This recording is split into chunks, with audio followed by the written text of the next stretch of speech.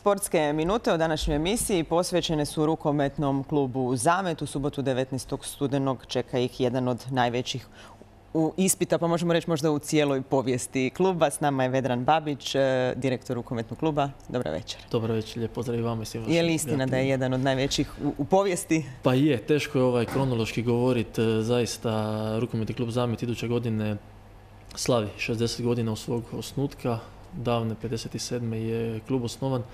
Od onda imao zaista lijepih e, rezultata, istupa i na europskoj sceni, ali i ovo što je postignuto ove sezone, znači dva kola EHF kupa, odnosno pet kola prođena, pred nama je još jedna ovaj, više nego interesantna utakmica koja nam slijedi ove subote. E, dočekujemo njemački, njemačku ekipu Mersungena u njima ovaj dovoljno govori činjenica da su prošle godine završili na četvrtom mjestu Bundeslige kao najjače lige svijeta, a u svojim redovima imaju čak 14 reprezentativaca. Evo, prije njih da kratko prođemo prvo i drugo pretkolo, kako je to prošlo, bilo je neizvjesno.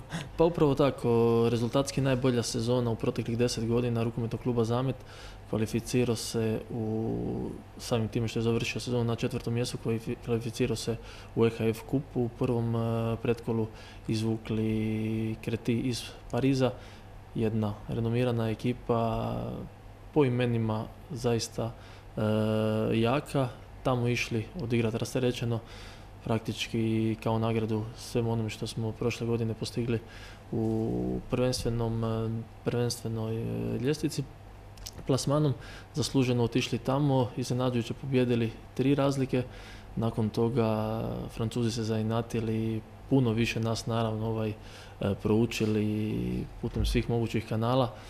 Kod kuće u jednom trenutku zaista gubili nešto više, na kraju pobjede, izgubili utakmicu sa tri pogodka za ostatka, ali zbog većeg broja postignutih e, pogodaka u gostima otišli u sljedeći krug. U sljedećem krugu Ždrijeb je nam e, doveo ekipu iz Bukurešta, zaista jednu renomiranu ekipu koja je čak igrala e, fazu grupnu prošle sezone.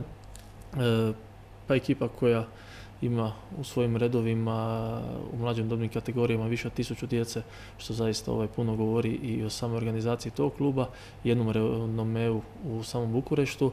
Tamo izgubili šest razlike, doma se nadali ovaj pobjediti pa da se dostojanstveno oprostimo od Europe na polovremeno gubili dva razlike, znači sve zajedno osam. Odigrali zaista jedno ovaj, polovreme za pamćenje. Pobjedili, Isto za povijest. za povijest pobjedili šest razlike.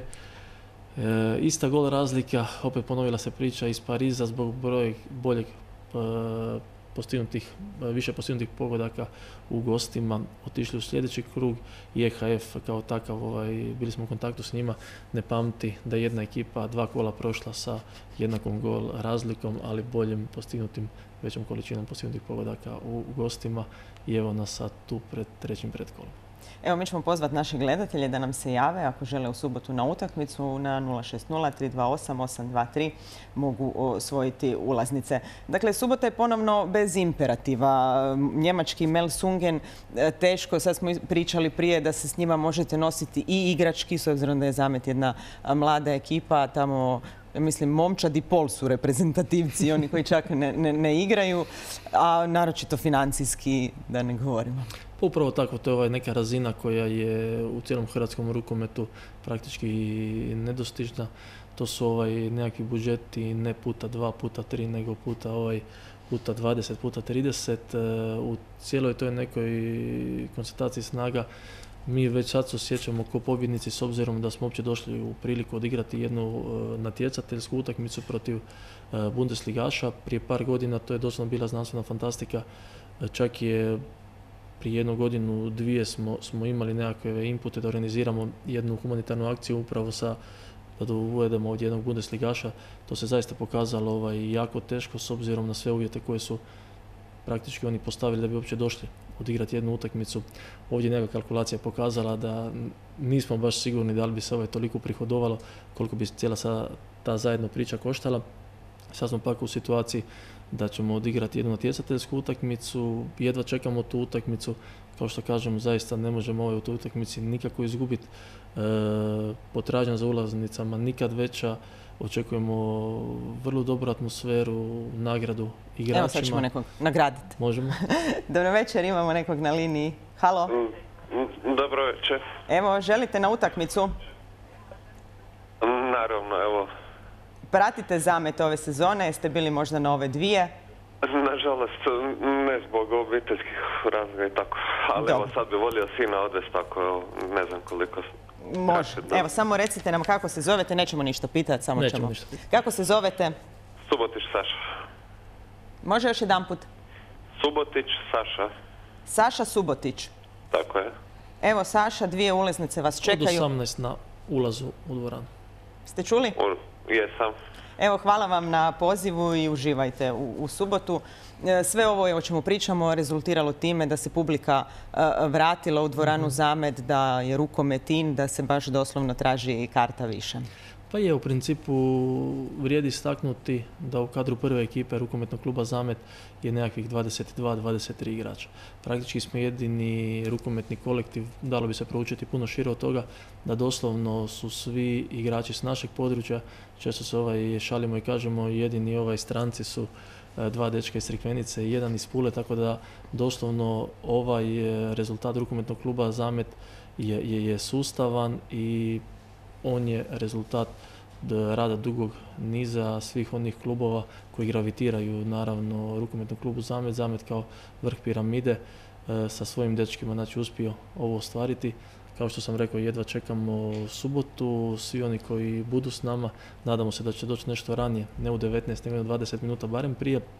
Pripremili ste nekakav spektakl. da, zaista ovaj, za usporedbu radi do sad smo na takvim tipu utakmica koristili nekih 6, 7 do 8 nekih e, specijalnih svjetlosnih efekata i ostalih. E, ovaj put za ovu priliku bit će iskorišteno između 45 i 50 e, od specijalnih svjetlosnih efekata preko pirotehnike do lasera, do projekcija, do svega nečega što bi u stvari trebalo biti sastavni dio sporta, da nije samo taj natjecateljski dio, već u stvari jedna priča koja započinje nešto prije utakmice i traje naravno nakon, tako da sve to uz izlazak službenih igrača i gostujuće ekipe Melsungena i naravno naših dečkiju 20 minuta prije će početi u dvorani. Eto, neka dođu e, ranije, igrači nisu s nama, imaju trening, e, Tako što oni poručuju, kako razmišljaju. Oni su isto ovaj, e, sličnih razmišljanja jer znaju da im je ovo jedan lijepi trenutak u karijeri, da su zasluženo došli do tog trenutka, da ga jedva čekaju i da su jedne uspomene koje će naravno biti i nakon Pariza i nakon Bukurešta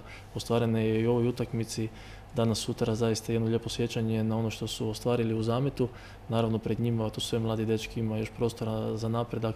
Ovo je jedna stepenica ka, ka jednom ozbiljnijem još bavljenju rukometa i nakon što završe svoje možda i fakultetske obaveze, ima sigurno jedno lijepo iskustvo jedno pamćenje koje vjerojatno neće zaboraviti do kraja svog života.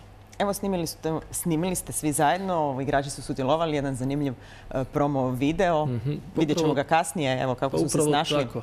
Želi smo maksimalno evaluirati ovaj naš e, sportski iskorak kako bi praktički i Rijeku prezentirali ne samo diljem Lijepe naše, već i diljem Europe.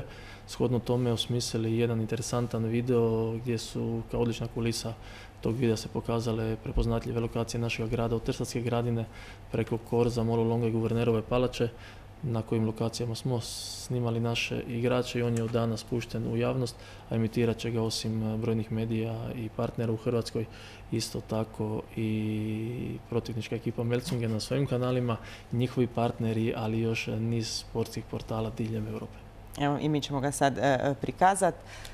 Hvala na dolasku, hvala na najavi, na, na kartama, sretno u subotu. Dakle, poziv gledateljima da dođu malo e, ranije, ne Tako u 19, pola sata e, prije. Sretno. Lijepi pozdrav vidimo se. A prije e, promo videa rukometaša Zameta ja ću vas pozvati na još jednu utakmicu. Sutra u 19.30 u sklopu Svjetske lige na bazenima Kantrida igraju Hrvatska i Grčka. Ulaz je besplatan. A sad će vas i igrači Zameta pozvati na svoju utakmicu u subotu.